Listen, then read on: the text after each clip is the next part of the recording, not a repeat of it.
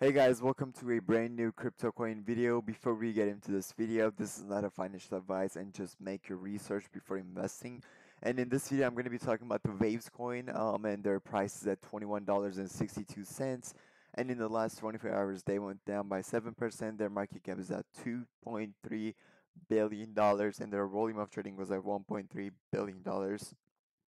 And um, let's go and check their market cap. So it's $2.3 million. And right now we're going to be checking their website and their social media uh, to see if they're legit or not.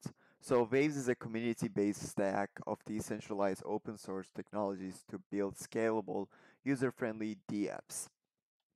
Why Waves? Because it's simple, scalable, eco-friendly, and open. Waves today are 53 global rank, $1.8 billion value locked in DeFi, US dollars, 47,000 transactions, 254 million um, total transactions, and more. A growing ecosystem is here. So how to start with Waves, uh, build on Waves, apply for grants, join incubator, and join their community. Um, right now, we're going to be checking their Twitter and their Telegram to see if they're legit or not.